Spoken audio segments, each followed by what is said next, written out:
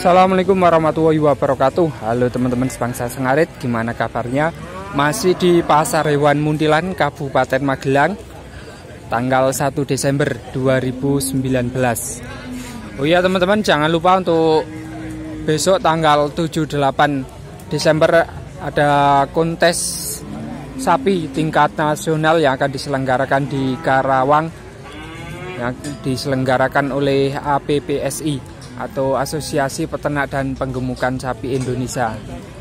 Ini bisa dilihat di depan saya ini adalah sapi-sapi betina yang sekarang ada di Pasar Hewan Muntilan Kabupaten Magelang. Di ujung sebelah sini ada yang unik teman-teman, bagian bahu sangat lebar.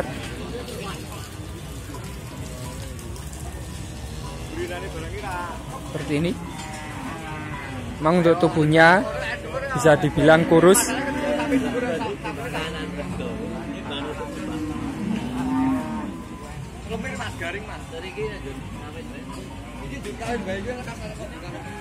saya akan mencoba bertanya harga dari sapi betina yang ada di pasar hewan Muntilan Kabupaten Magelang ini di sebelah sini adalah sapi betina milik Bapak Warjiman dari Tempel Daerah Istimewa Yogyakarta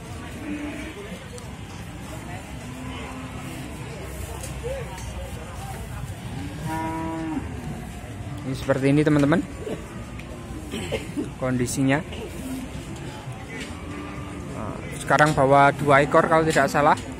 Biasanya bawa dalam jumlah cukup banyak. Ini putingnya cukup besar. Apakah baru saja petot dengan pedetannya?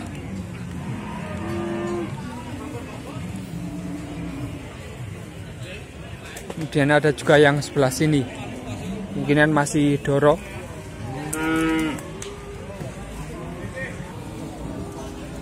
ini teman-teman di sebelah sana sebelah saya sudah bersama Bapak Warjiman yang membawa sapi-sapi betina hanya bawa dua ekor ini Wah, hanya bawa dua ekor ternyata biasanya bawa dalam jumlah lumayan banyak lebih dari lima ekor sekarang hanya bawa dua ekor untuk harganya sendiri Pak misalkan yang ini berapa Pak 18 per 4 ya.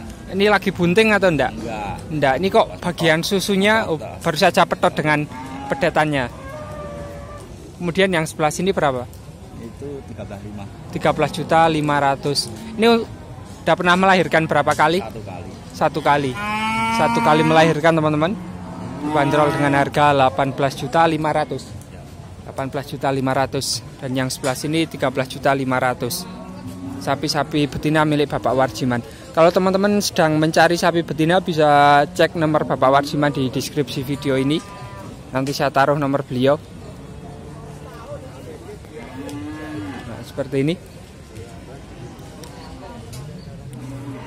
Untuk posturnya lumayan tinggi.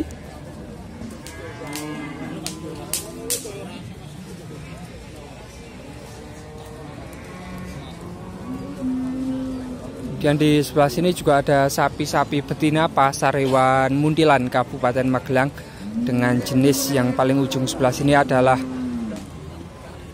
sapi limosin. Kemudian ada juga limosin lagi. Eh, di bagian kepala ada sedikit putihnya dan moncongnya khas sapi simental. Nah, mungkin adalah sapi cross simental limosin.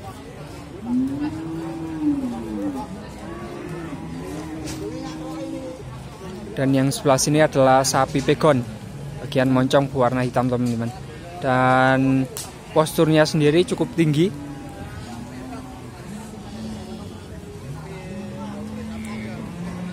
Kemungkinan untuk yang dua ekor ini adalah sapi babon dan yang sebelah sini adalah doro dilihat dari posturnya yang ini masih bulat.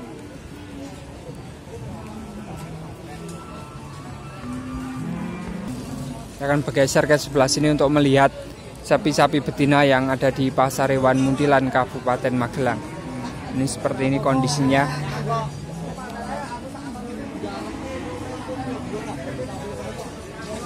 Di sini ada juga sapi limosin betina.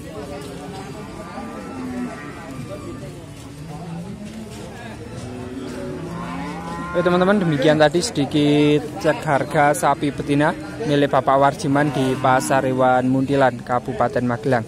Terima kasih sudah menonton dan wassalamualaikum warahmatullahi wabarakatuh.